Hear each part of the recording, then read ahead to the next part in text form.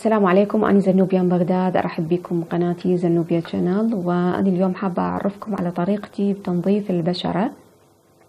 وبس قبل ما أبدأ بالطريقة أريد أقول أنه أنا راح أنزل review هات مختصرة لأنه أكو بعض المنتجات ما تحتاج إلى شرح طويل. فراح أنزل عنها review هات مختصرة. وأكو بعض المنتجات تحتاج إلى شرح ويعني تفاصيل هوايه مثل كريمات الأساس عناية بالبشرة إلى آخره. فهذه راح أنزل عنها آه، ريفيوهات آه، طويلة.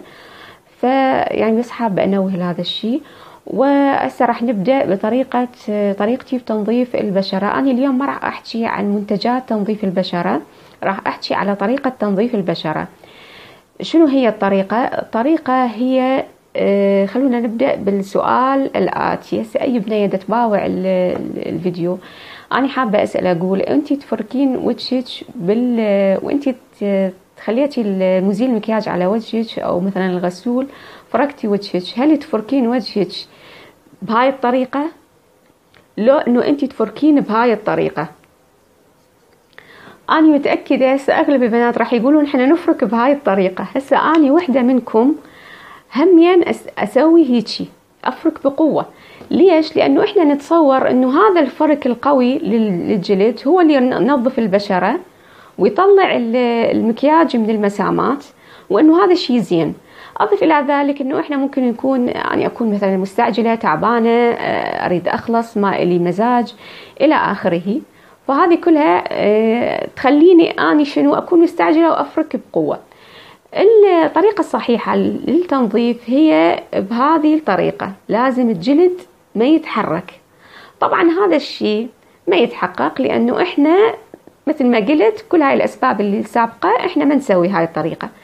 الشيء اللي أنا اللي راح أقوله اليوم هو آه راح أنزل هذه الصورة اللي هسه راح تنزل أمامكم. هذه الصورة هذه الحركة سوي تسوينها بوجهك. وبعدين تبدين تزيلين المكياج أو حتى لما تريدين تخلين عناية بالبشرة. ليش الحركة هاي نسويها؟ شنو فائدتها؟ الحركة هذه إذا أنت شديتي الوجه شديتي وجهك بهذه الطريقة آه، راح تحقق لك عدة مزايا. أولا أنت ما تفركين بقوة معناته ما يترهل الجلد أو يسبب تجاعيد بالبشرة. هاي واحد. اثنين شد عضلات الوجه ومعناته هذا فشي أيضا مثل ما قلت ما يسبب تجاعيد ما يسبب ترهل وهذا اسمه yoga face. أي بنية الموضوع جديد عليها خلي تكتب جوجل yoga face وتشوف شنو ال yoga face تتعرف أكثر عن الموضوع. الشيء الثاني انه الجلد لما إحنا نشده بهاي الطريقة لما أني أشد وجهي بالطريقة اللي حكيت عنها أول شيء هذه راح تفتح المسامات عندي فيكون التنظيف يفوت للمسامات على اعتبار أنه أني فرشت الجلد. فراح تفوت التنظيف راح يكون أعمق للمسامات. ثاني شيء أنه لو أني أقدر وأني أمط وجهي بهذه الطريقة أنه أني راح أقدر أفوت بالزوايا أكو زوايا الأنف زوايا الوجه يعني. فهذه أنه أقدر أفوت وأنظف على راحتي. وبنفس الوقت أنا مسوية شد للبشرة فكل هذه المنفعة تحصليها. وانتي دا تنظفين بشرتك وممكن هذا يكون العملية هاي نسويها يوميا إحنا أو يمكن مرتين نسويها باليوم. فهذا الشيء هو أفضل طريقة لتنظيف البشرة. وطبعا آه، جربوها وراح تعجبكم إن شاء الله.